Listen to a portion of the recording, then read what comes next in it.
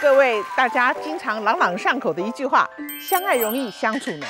就我的经验来讲，相爱也不容易，相处更难。所以呢，我们看一下我们今天专家有谁？欢迎邓医师、阿德老师、派特，还有我们的御姐爱。OK，好，那我们今天有非常慷慨的素人代表，好不好？那其中有一对是夫妻，有可能今天讲完之后呢，他们就就会去找赖芳玉律师了。哈，OK，好。应该不会吧？哈，两位结婚多久了？呃，八年。八年了哦，所以他今天是来分享他们怎么八年还可以继续下去的相处之道吗？好，我们这边看了一个啊，我们做了一个图表啊，根据一个日本人妻创立的一个账号，由于她实在受不了老公的生活邋遢的习惯，所以决定把另外一半的恶习呢抛到网络公开给大家看。她也强调说。其实他们夫妻是可以相处得下去的，但是呢，呃，她会一直剖剖到她有一天她老公学会丢卫生纸那天的时候呢，她她才会 停止停止，否则她会一直继续更新。那所以呢，我们就去呃这个查了一些资料。那我觉得日本有台湾可以参考的地方。今天介绍这五大生活坏习惯呢，是来自于日本网站的一个调查。那我们可以看看台湾的男生中几样，好不好？哈，那么除了男生的坏习惯，那很多人讲说，你们你知不知道你们女人也很难相处？OK 哈，永远门把上会挂一条丁字裤，很烦。所以呢，所以，所以。我们也根据某大企业的办公室内部做了女生的五大坏习惯，所以今天是很公平哦。日本男生的五大坏习惯跟台湾女生的五大坏习惯，我们来评论一下，好不好？哈，第一个，马桶坐垫不放好。我觉得不是不放好，是为什么男生的小便会喷的到处都是？为什么？没有看过男生吗？不是，你为什么不能好好对着？就是不容易对着。我告诉你为什么会有。你是放流浪的逼车呀？有时候。然 后有时候就是上厕所不会想要太精准嘛，那时候一定是很放松睡，就比如睡到半夜。或是早上起来要去上厕所，那么懵懵懂懂的，嗯哼，然后或者是说上厕所有时候就是很急了，嗯，就急到就是一边拉拉链的时候，就是已经准备要喷射了。不是，我跟你讲，你们真的很受不了，是只要是男生用过的厕所，嗯，你知道马桶盖一掀开来，他会讲说，哎，马桶它都有冲，可是你知道那马桶盖一掀开来，上面就会有那个尿渍，知道为什么吗？黄黄，因为坐着的时候啊。尤其是上大号的时候，也会上小号一起上，对不对？那有时候就会喷到那边去。好，那至少马桶盖要掀。那这件事情，你你在家里怎么上厕所？我现在都是坐着上厕所，而且很多年了。嗯嗯，因为这样对我来讲，哎，其实也蛮轻松。其实站站着上厕所，其实。可能没有想象中那么舒服。好，那我们之所以把这一项，它会因为日本人是比较这个爱干净洁癖的，所以这个可能很困扰。那重点是这个“坏”这个字，也许男生会觉得这个不是坏习惯，这是习惯，不是坏习惯。所以这个就是我们要讨论的地方嘛。我觉得第一个啦，婚姻生活里面一定要有一个平等对待的观念。嗯，你觉得是坏习惯，如果对方不觉得是坏，嗯，那只能叫做不同的习惯。嗯嗯嗯。OK，好，那问一下派特，那这些是你觉得无伤大雅，对不对？我我觉得无伤大雅，但是就像那个邓医师说，这是相对的嘛，对方可能会觉得这就是一个坏习惯，所以我觉得如果有坏习惯，它其实可以调剂夫妻之间的生活。嗯。真的，因为如果你坏习惯你看不过去，你就会拿这个东西来骂对方，嗯，然后对方又会在指责你的坏习惯，嗯，然后接下来怎么样，就是一个角力斗争，嗯，斗争完之后床头打床尾和，我目前都是和的，所以我觉得这还不错，可以。调剂生活的苦闷。哎，帮他叫个车好不好？这样讨论不下去。OK，好，那个御姐爱呢？那个马桶坐垫不放好很恐怖哎，因为我有好几次是直接摔到马桶里面，就是摔下去。因为如果你马桶对对对对对，因为你马桶盖如果放好的话，你这样坐下去就会刚好被捧起来。但是你的马桶马桶盖如果没有放下去的时候，你是整个人会陷进去，然后有一点要爬不起。所以有些男生这个地方就是说。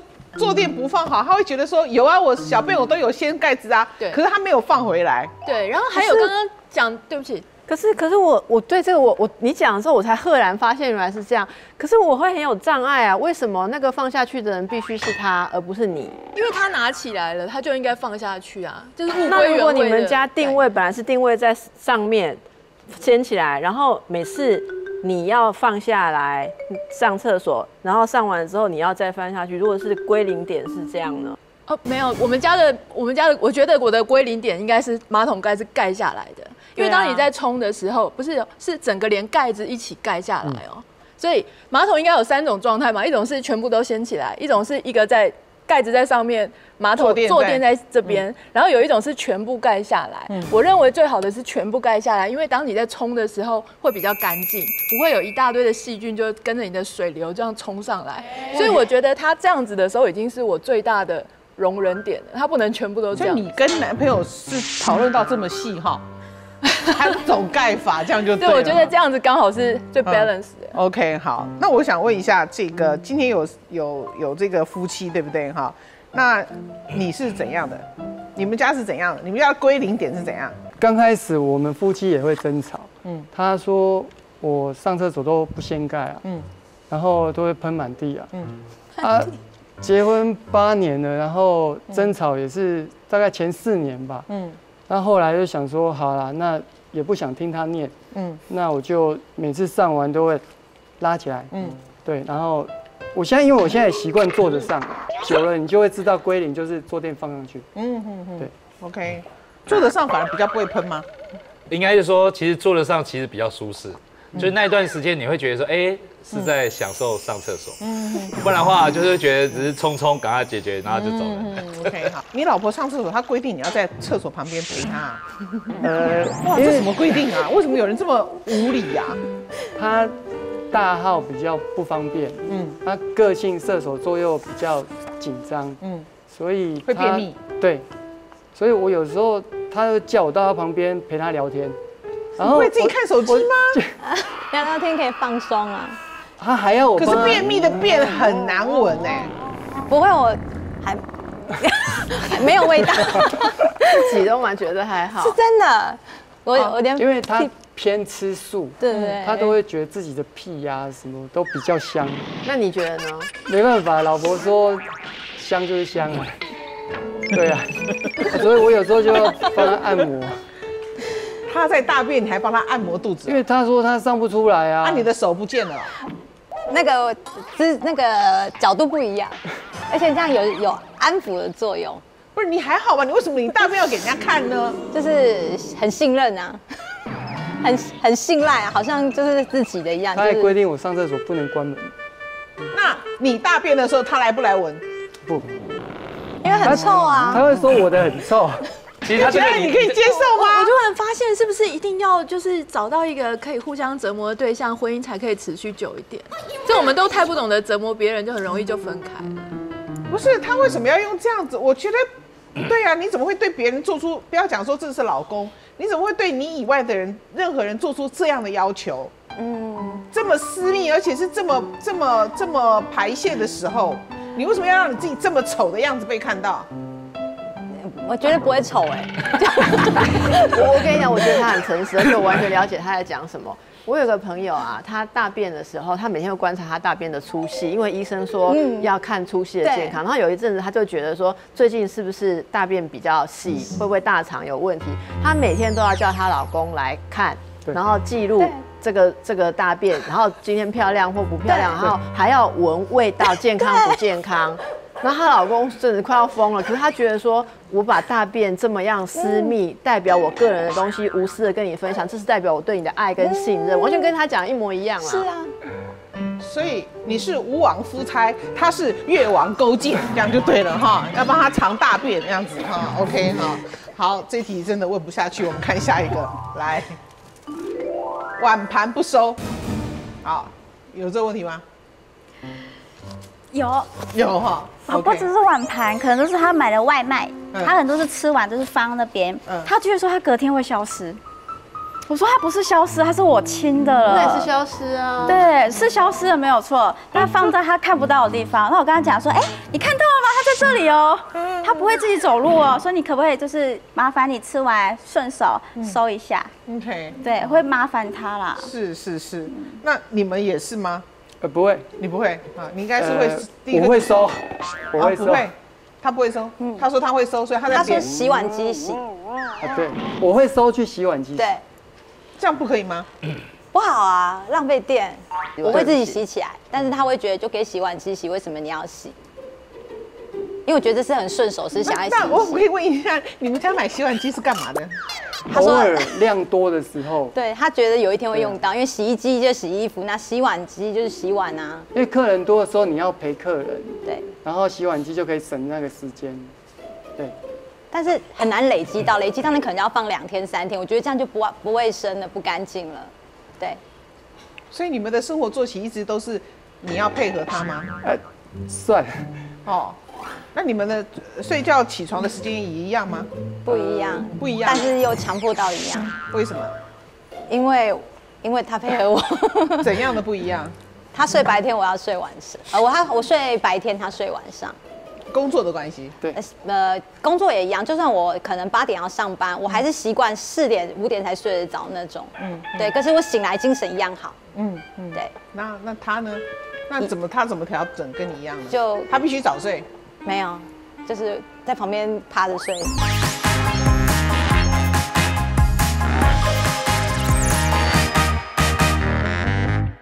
那怎么他怎么调整跟你一样呢？就他必须早睡。没有，就是在旁边趴着睡，然后等到我要睡在一起去睡。所以你你累的时候，你不可以先上床啊。对，他会骂我，所以我在旁边就打瞌睡。哎，你们今天早上是灵眼吗？不是，你们是真的吗？真的，他因为他射手座，我金牛座，所以我会尽量配合他。不是，可是你就那么累，你想睡觉，你也是要上班的人，你为什么要这样子做？陪他，啊，不然会怎样？你没有这样做会怎么样？人生会怎样？他他会他会一直吵你，哦，他就因为觉得没有人陪。因为因为金牛座其实呢它的原型呢，尤其在谈恋爱跟结婚的时候，它就是一个妈宝，嗯它是以当妈宝为荣。嗯比如说为你，他们不是谈恋爱，他们是结婚八年呢。对，比如说你对他的任何命令哦，他虽然就算不适应哦，但他都会觉得要去做到。为什么？因为他觉得他他觉得有幸福感被命令的被命令被需要的幸福感。那他吃素不会逼你吃素吧？也会，我没有逼啦，会因循循序渐进，告诉他一些故事，那再听听看他的感受，再自己决定一下。例如说我吃肉啊，然后他会告诉我这只鸡生前有多活跃啊，然后我就吃不下去了，那就比较少吃啊。OK，所以你结婚前期是不是适应的很困难？这些生活习惯你一开始就很能适应吗？不行，因为男生自由惯，嗯然后他又很喜欢黏在一起。嗯。可是当你觉得说有一个人这么爱你，然后你感觉到那个真心，再加上射手座的脑筋很活跃，他会丰富很多你的生活，所以利弊，嗯。就是 应该是说金牛座完全无法无法跟狮子座辩论啊，对对对，他 是没有能力，因为金牛座很笨，逻辑很烂，胆子又很小。，OK，然后只要射手座只要有一个很清楚的逻辑，说我要往哪里走，他就马乖乖的。看一下还有没有哈？衣服乱丢有吗？没有，就是有时候就就是有时候下班回来，因为有小朋友，本来东西就很容易乱，然后有时候就下班回来，我我老公也是，就是东西也是东丢西丢的，有时候就是希希望说回来至少说不会不需要那么累了，就是能够说他也协助一下，帮忙一下，嗯对啊。嗯 OK，好，这个我问一下啊，就是说女生做事情都有自己的 SOP 哈，可是男生却有有有很多时候都没有办法照自己的心意去走，对不对哈？所以这样的这样子的情况之下，我们要怎么怎么怎么走下去哈？比如说，好，我我我有一个朋友，他的内衣裤一定是洗完澡顺手，他一定要立刻就要洗出来的。那我有另外我有听过一个故事，他是两百件才要一次洗，每一个人的那个 SOP 不一样，所以你们衣服你们应该是有共识吧？呃，没有，哎，我们的共识就是我的共识。对，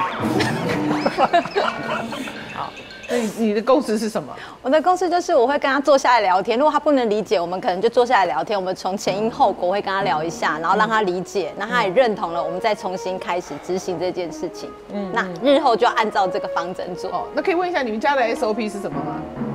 衣服就是衣服衣服一定要到一定的量，然后就是因为它常常要一天可能它很多个季节，一天可能就夏天跟冬天，然后就要一直换洗。那我会希望就是它要就是衣服的量大概多久穿一次洗一次。那我们要洗呢，可能要分类要怎么做，那要怎么晒，要怎么样用的，不能就是还是要一定有 SOP。可是你洗还是他洗？其实都是我洗，嗯，对我不会要求他做，因为他做我你要他配合什么 SOP？就是他丢出来的量，他丢出来的量就是他不要一直拿一直换衣服，因为他要洗很辛苦。对，因为他觉得洗衣机洗，可是洗衣机洗不干净，我我要我要呃，可能像他领子要另外洗，然后另外泡，然后又怕伤害到衣服，所以我衣服都维持得很新，我就是很小心保护。那他可能就是随便啊，坏掉再买这样子，那我会觉得这样很不爱惜，然后也没有必要一直换衣服啊，因为你一直浪费水、浪费电的，对。我只能说你运气很好。梅 姐才八年了，很难讲。OK，所以为什么很多男生都会讲，很多女生都讲说，我有 SOP，他为什么不照着走，对不对？哈，会有这样的抱怨。嗯，我我其实觉得哦，两个人在一起很容易会形成一种呃某某一种人会不自觉有优越感，就觉得说这不是我的道理，这是仿诸四海皆准的道理，不是我要求你这样子生活，而是人本来就应该这样生活。哈，呃，我我这样我听过，我有咨询的一对夫妻，他们是因为睡眠时间争执，那个老公就是要半夜才有灵感。写东西、做东西，可是这老婆认为要早睡早起。嗯，好，那这老婆就跟这个老公说：“你要早睡早起。”老公说：“我不要。”吵到后来，老公就会说：“为什么跟你结婚，我就不能够过我想过的日子？”然后这个老婆就哭了。他说：“我没有不让你过你想过的日子，但是全世界正常的人都是早睡早起的。但这种迷失有时候你要绕过他们的盲点很难。可是，一旦如果回到公平的起点来讲，如果每个人都有自主生活的权益，那你要说另外一个人是坏习惯之前，你必须先问自己凭什么？嗯嗯所以问一下，那如果生活习惯真的不同的话，要怎么解决？阿德老师，听说你有三个方三个步骤。因为我觉得是那个如果不同哦，你要记得就是说，嗯，如果不同的话，有三个可能性。第一个是，那我改变我自己，然后或者是我改变对方，或是我们两个一起改变。如果要改变的话，嗯，啊，我的建议就是说，一定要先从你先改变自己开始，嗯，因为你改变改变自己，不要就会避开，就是去指责对方，要对方配合你那种嘴脸就可以。哎，你讲这个不用看他，因为他们没有改不改有有变的问题。我有改变，我眼睛都遮着，我我已经降低标准了，所以我们才可以相处这么久。哦，他这个标准已经是降低的哦我已。经降低了，很低了，那你以前的男朋友要闻你那个大便闻多久？就很久，就上完厕所啊。有多爱就有多久。OK，好好。然后呢，第二个就是说，如果当你自己也改变的部分，就是你也没有那样的功力，也没有那个一个一个一个一个厚度的话，你要要求对方改变的话，那，我的建议就是说，一定要是人家要不要改变，而不是规定人家要不要改变。嗯嗯啊，我我觉得说，你只要做到这两点，你才有机会跟另外一半就是说，哦我们要不要调整沟通，不然每一个要调整都是你的地雷。是。那派特为什么有人不愿意改？是说我不要，我不要，我不要被被被破坏，或者我的完整就被你入侵。像以这个例子，当然有点夸张，但我们可以发现一件事情，就是当我们觉得对方有坏习惯的时候，我们会要求嘛。嗯。那被要求的人就会有一种，那是我本来不属于我的，应该要有的情物，但是你又强加租给我。嗯。那有些时候我会去权衡，嗯，厉害，嗯，但但是有些时候我真的不想忍让，就是我什么都让了，那我原本小小的习惯，你也要破坏它吗？嗯，那人们就会因为这样而去反弹。嗯嗯，所以我觉得在关系里面的平衡是一件非常重要的。嗯，像我觉得这一对好夫好妻，我觉得我很欣赏他们。嗯，为什么？因为我刚才观察到好夫几个特质。嗯，就是他的那个西装，是不是你老婆帮你挑的？对对，那我怎么会知道他老婆帮他挑的？因为他那个西装后面哈，他有那个开叉，嗯，那个叉很多人都不知道要剪掉，嗯，也就是说，如果西装是你的习生活习惯，你一定会把它剪开，嗯，但你为什么没有把它剪开？因为那是你老婆帮你选的，我看一下，站起来什，么意思啊？就是后面这个位置。有那个线，后面有那个线，对，怎么这个为什么？等一下，这个为什么不剪？因为新的衣服它如果剪，它在折的时候可能会折到会歪掉，所以它保持它衣服的平顺度，它都会这样子缝。对可是这个不剪是很好笑的事情哎。呃，因为剪开它会太，它太瘦了，剪开衣服不会啊，就会变太是一般人不会注意到那么细的。对不行，这个这个穿西装的规矩，这是一定要剪开。这是因为你在卖的时候，他怕你折到，这一定要剪开。这不剪开很土，很好笑。哎，不要不要，所以所以拍我摄你的意思是说，有时候女人会不想剪那个，因为比较好。不是不是不是，，我的意思是说，他们的关系里面你看西装就知道，你知道这套衣服谁买的吗？因为那我觉得这段关系里面最令人称羡的地方是，他的老婆在补足这个男生身上不足的地方。嗯，所以即使被要求，他也会觉得啊，我老婆带给我生命中更多的美好，那我为什么不能协商？就是他的配合让他更觉得更美好，对不对？哦，那这就是对可得有失啊，啊，有得有失。有有得嘛哈，有失，但是他把得讲在前面嘛，对不对？哈，OK，好。那玉姐爱，你有没有被要求什么习惯是人家也有 SOP，但是你就是没有办法做到的？比如说你的镜子上会粘东西，很多啊，就是因为我跟我男朋友比较起来，他比较像女生，我比较像男生。因为我一大堆坏习惯，可是他很龟毛。他特别像是我，就是假睫毛会乱放在我家各个地方。就是因为女生假睫毛，你有时候就比方说躺在沙发上觉得很累，就这样这边左一丝右一丝，然后我就先放在桌子上，想说反正可以再用。然后有时候就是比方说她只要手这样挥到什么东西的时候，她这样一拿起来就会两条。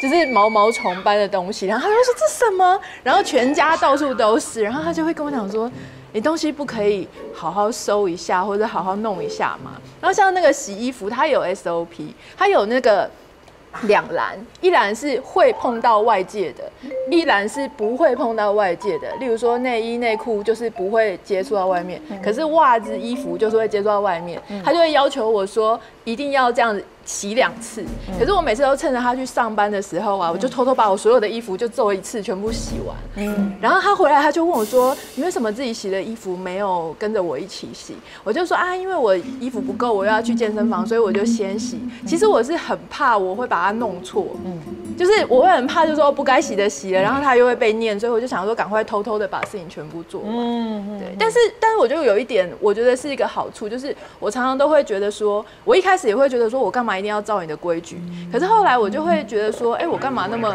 固执？因为他的他确实把他家弄得很干净，很有规矩，然后我确实我家是看起来蛮乱的，所以我就想说，那我应该跟他学一下。嗯 OK，其实人跟人相处最，尤其是亲密关系的，最容易发生问题的就是三个场所。第一个是餐桌、浴室，啊，就是刚刚的你牙膏怎么放啊那些的哈。还有一个就是卧室，对不对哈？那这卧室里面就跟柜子有关系，对不对哈？所以很多时候都是讲说你的柜子跟我的柜子，可是男生的柜子最后都会越缩越小，越缩越小，然后都是女生的东西，对不对哈？维婷，你们家是有柜子的问题，对不对？我们家的话就是，呃，东西的话是各归各的啊。那我坦白说，我老公东西比我多，哦因为他，因为基本上他喜欢收集模型，所以他的我们家的柜子大部分都是摆他的模型。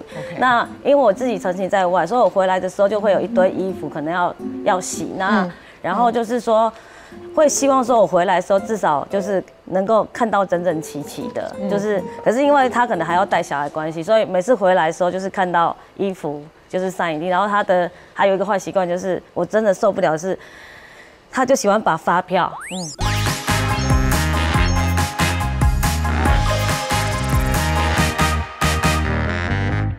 我真的受不了的是，他就喜欢把发票，嗯。嗯，因为他有收集发票习惯，但是他不会说想要把发票整理好，他就是把发票就是揉成一团之后就直接放在柜子，然后然后就是有时候我看不下去之后，就是我会顺手再帮他整理，然后可是大概可能过两个礼拜有一堆这样子出现，所以不断的重复再重复。OK，那你们小孩是多大？呃，一个是六岁，一个是八个月。哦，啊，你的工作一直要在外面啊？对，因为我是领队，其实哦 对，我就长期在外面，对所以反正就是说，变成说照顾小孩是他的责任，我们家比较不同啊，因为我一个人在外面，其实承受很多压力，然后。有时候就是住饭店，因为我已经习惯就开门就是房间干干净净，因为饭店房间都是这样。然后回到家里就不是，家里就是这个丢那个丢。然后我也知道他很辛苦的，但是至少小事小细节，我只要求发票这种东西，或者是小钥匙什么的，他能够把它放在柜子里面，嗯，就放在柜子里面。所以只要发票这个事情做好就可以了吗？不用把家里整理好，小孩带好，柜子清好，然后不要一直霸占，不要一直买模型。对，其实我只要求发票，因为他他是不太做家事的人。他其他都不在乎，但是他却在乎一个点。因为他觉得说这个点是比较容易实现的，对，其他部分就是而且嗯，但其实这个点就是最不会实现的点。对，呃，因为我刚才一直反复的一直问他你在乎什么，他讲什么都可以，小孩没有带好也没关系，然后家里很乱他也 OK，但是他就一直卡在发票。对，因为我们现在想象一种情况，嗯，如果我们今天反过来做，你的另外一半很龟毛吗？这一集，然后请到维婷的老公来，老公一样举起这个例子的时候，讲起来听起来就会变成说，你知道我老婆有多变态吗？她连人家发票要怎么放都要管，就会听起来你在管一件小事。可是我们从老婆这边听到会说，她放弃了很多令人受不了的大事，她只能管这个小事。为什么连小事你都做不到？这就是夫妻争执常见的现象。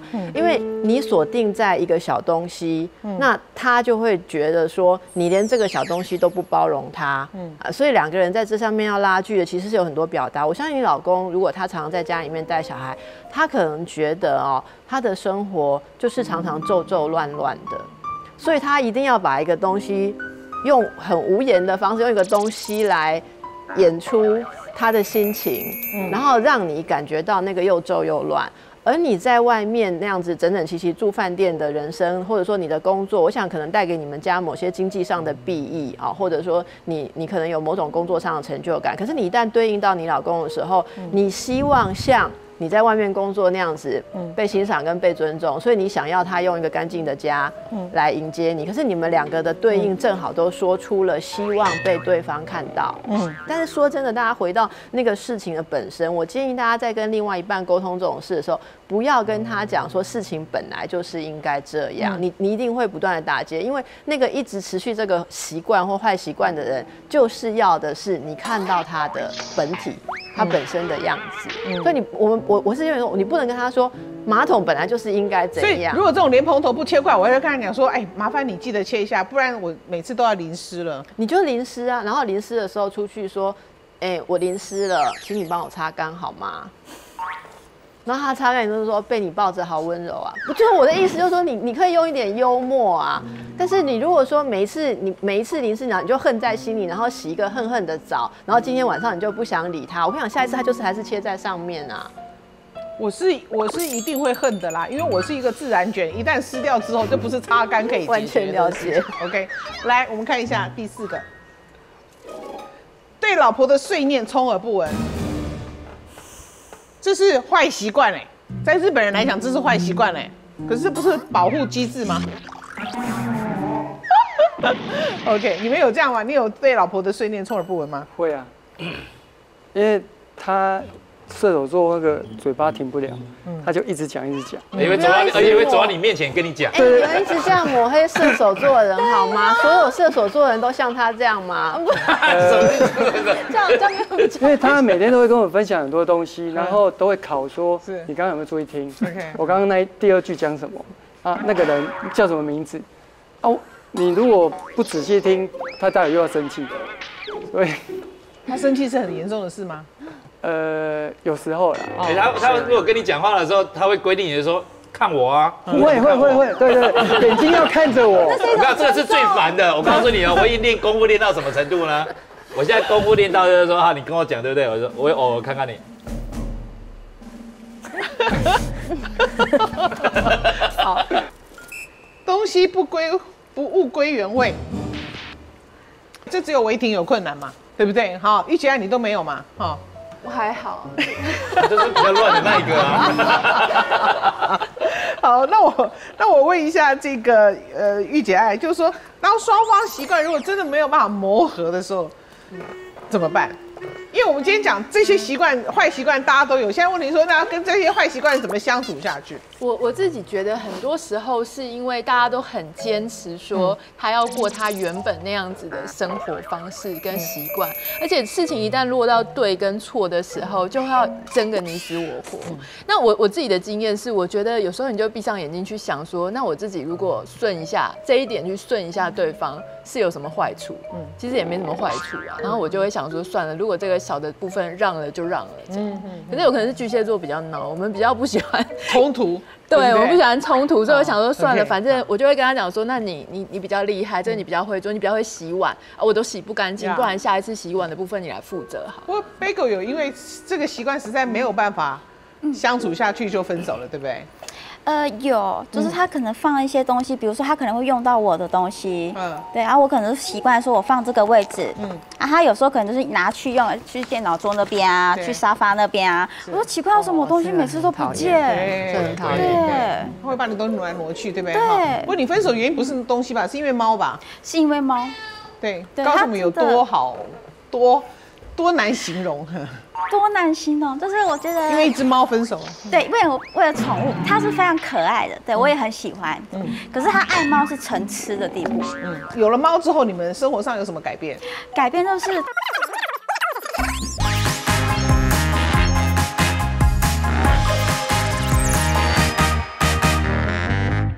有了猫之后，你们生活上有什么改变？改变就是它会跟猫睡。它比如说，猫咪可能就是在喜欢在地板，或是在那种角落躲起来。嗯，它会去挖猫咪说，嗯，哎，跟我睡，说啊，我们家阿阿发好可爱。它说。在地板趴着睡了，所以有了猫之后，他就从此跟猫在地板上面睡。他愿意。那只有重要时候才爬上床来睡吗？只有在重要的时候爬个一下下，可能就呃几分钟吧，呃就走掉了。哦，就就又回去跟猫睡了，对，就回去跟猫睡了。对。哦，所以我其实觉得这是一个很好的例子，因为我一直在听，我所有听过夫妻在抱怨小事情背后都有一个更大的不满，只是那个不满不好直说，所以就转到其他的事。你可能是对于他那几分钟的表现不是很满意，那个几分钟好像都是只是说好了交功课了啦，好开始交功课了，好可以了吧？我满意了吗？好，啊，猫咪你在哪里？真的夸张，他就说啊好可爱，所以那就很怨他。类似的意思是说，如果他他的男朋友都有把她。搞到稀稀混混去，我就不知道你跟猫睡还跟谁睡了嘛，对不对 哈？是不是？是是是，都会有一些其他的不满的因素。是是是，天哪，你不会最后还问他你要选猫还是要选我，对不对？我有曾经有暗示过说。你是不是想要跟猫结婚？嗯，或者说你想要跟它共度你的余生？嗯，我说哇，你摸它的样子，你从来没有这样摸过我，跟看过我的眼神都没有过。哎，可是你也没有它像猫那么乖啊。哎，我我曾经还因为它哦，然后我就自己拿着小椅子，然后我就这样拿着椅子，然后就躺在椅子上面，躺在腿上，然后就装假装自己是只猫，然后我躺了一下睡着，很不舒服，我想要算了，我当不了，我回去床上，很难当。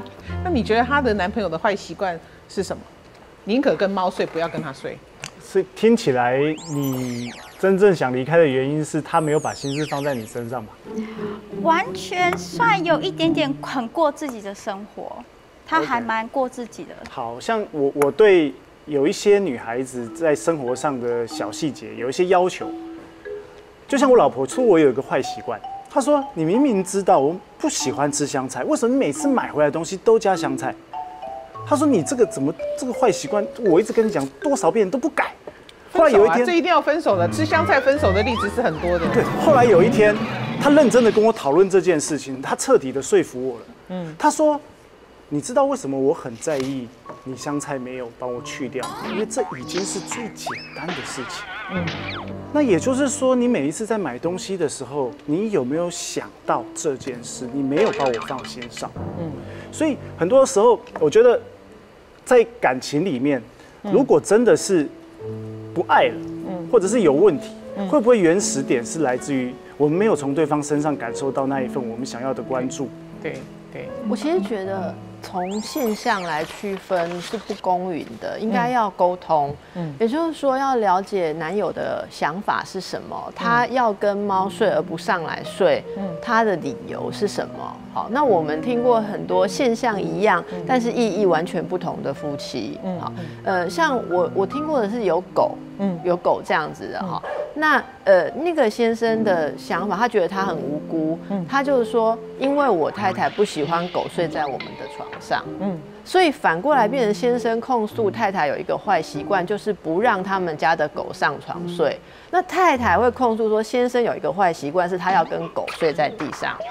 那你大家，我刚刚从节目一开始一直在讲这个相对性，就是这样子。你要从哪一边去讲？通常抓到了控诉权的那一个人，呃，比较强势。通常是因为，例如大部分的人可能站在你这一边啦，哈。那或者是说，呃，你有一个呃，基本上对方还蛮幸福，例如你过得比较健康的生活啊，然后你应该要受到宠爱，有一种共同相信的原则，背后你才会有这个优势。不然你如果遇到那种真的。不就就不公平对待的人，你没有用。像阿德刚刚说那个，呃，不是刚刚那个香菜，派特说那个香菜，我就遇过夫妻，他们在争执香菜的时候，太太讲刚刚那个台词嘛。可是你你太太说服了你，我看到那对太那个太太没有，那个先生就说，呃，我为什么要一直把你挂在心上，连出去买。骂完都要记得你为什么？为什么？因为太太说就是你，你心里没有没有挂着我。先生说，对我就是不要二十四小时挂着你。我把骂完的时候不想想着你，可以吗？嗯，可以，可以，可以，可以，真的可以，好不好？OK，好，我们来看一下，我真的好庆幸我自己哈，好，单身吗？我们看一下，各位刚才讲完，我们用花。几乎一整集的时间讲男生的坏习惯，OK 哈，因为这真的很难改，女生就还好，好不好？所以我们五分钟就可以讲完了，好吗？啊，什么东西？重头戏了，没有重头戏，OK 哈，来我们看一下女生的坏习惯，我洗头只洗刘海，然后真的有，真的好多人真的只洗刘海，哎。对啊，只洗前面这一撮啊，有时候就这样，比较简单的。洗脸的时候只洗这一撮啊，因为这这个刘海要有空气啊，所以这个不可以油，不可以粘呐。对啊，其实头很臭啊。对，OK 哈，排水孔有头发不见，很多女生都是很严重的，很多很多，然后男生也觉得很恶心，对不对？一堆毛在那里。就是因为我我我女儿每天都有这样的问题，然后我我太太已经为她剪头发剪到已经每天都在俩光了。然后呢，现在变成以前就我只要回到家说你去倒垃圾，就是反正一定要交代我做一些事啊，不然他心里不甘心啊。现在呢，就是交代时去浴室剪头发，就是就是这个已经他已经变成他的重度困扰，但是他没有办法要我做。所以你太太不掉头发？就是我女儿，就是长头发，OK 啊。可是这这是我的大问题耶，因为我不止排水孔，我是全家，我的头发非常的会掉，到处都是。有一天我男朋友看着我就说：“你为什么头现在身上面还有头发？”就是我以为已经掉满了我们全家了这样子。对。可是我真的不知道为什么它就会掉啊。哎，我老公也很嫌弃我这一点哎。对。可是我觉得有一个方法，就是呃。让那个会掉头发不剪的人最后洗澡，就是说他会感觉到说。被堵住了嘛？那他自己那通常就是因为人家帮我们剪得很干净，对，你去洗的时候，嗯，很开心很通嘛。洗完了之后，然后下一个人进去，为什么他会俩工？因为会堵住，所以他就非剪不可。那他剪掉之后，下一次洗，我们就觉得每天都没有剪头发，可是浴室还是很畅通啊。所以后来就改成说，让那个最会掉头发的人最后进去洗，你就会发现那东西多令人厌恶。嗯，真的，我都拜托我女儿去阿妈家洗，那长头发你知道吗？好，我们再来看第三个。发跟头发也有关系，你看，哎，女生的坏习惯，我觉得你们这个公司是美发公司吗？这个三个全部是跟头发跟毛有关系，这个就是男生不能理解的地方，对不对？所以发饰乱丢，我真的觉得，尤其沙发缝也有一个橡皮筋，然后绑头发的带子，不然就是夹头发的夹子，对不对？是不是有这种状况？你们有吗？你们都没有，你们都完美的，因为。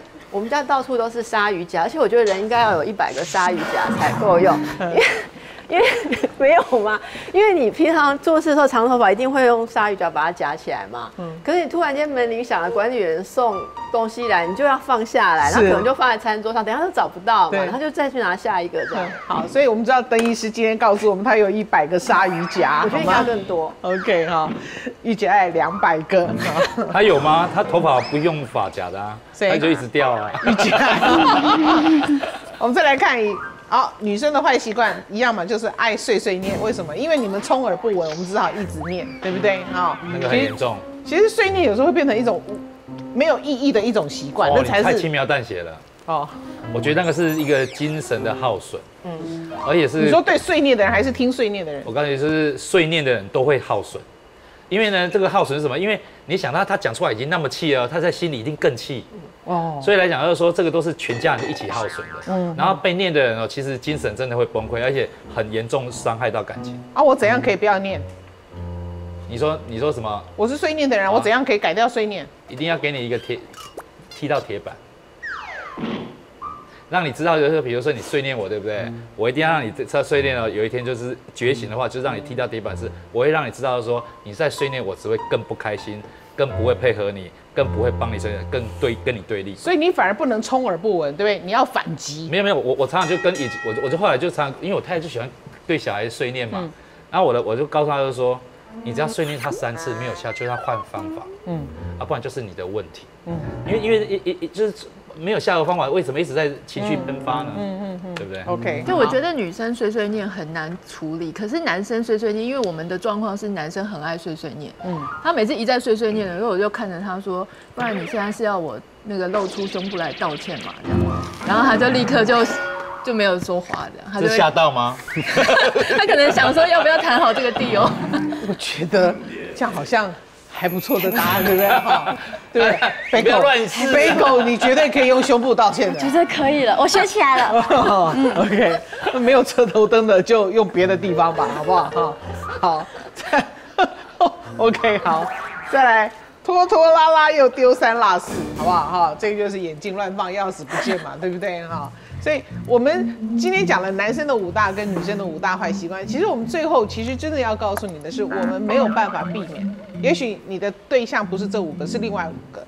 可是，我们要继续走下去的时候，我们不是怎么跟这个人相处，是怎么跟这个人的行为里面你认为的坏习惯相处。OK 啊，这才是我们真正想要特别请教各位专家的一个重点。先请邓医师回答。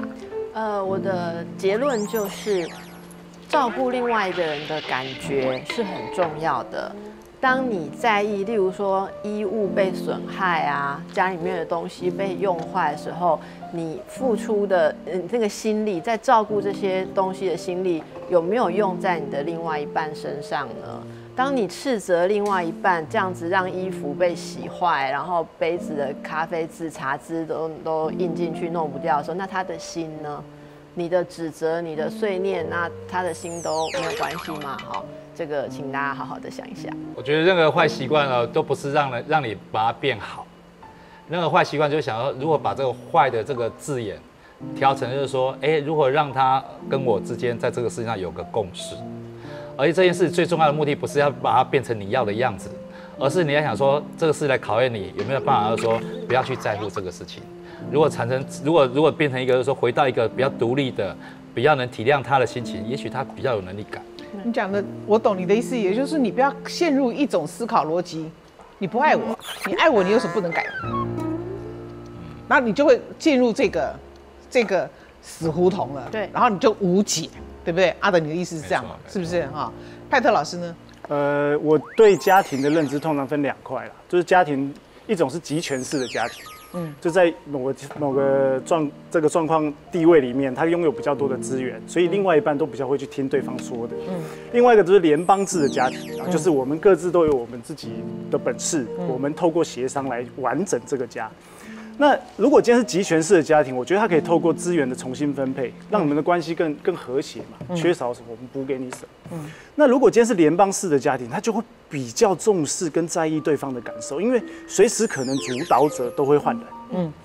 那这种状况里面，我觉得如果你能够开始用不同的角度去想好这个资源的重新分配，有可能是情感，有可能是物资。其实你在面对这个东西、这个状况的时候，会让自己冷静许多的去处理。嗯哼，这是我对家庭的看法。OK，一起爱。就如果你看不下去，你就划分一个空间给自己，比方说像我的浴室、厕所、房间全部都是独立的，就是跟对方就是个人自己一人一套，这样子其实就可以省掉很多你看不顺眼对方的一个不一个可能。是，还有一种奇怪形形呃一种一种状况，就是很多女生讲说，我爸爸都不会这样子，怎么你你说男生这样子，我爸爸就不会，你就会这样子哈？你不要跟我讲说男生都会这样子，我爸爸就不会。你应该回去问你妈，因为都是你妈插的，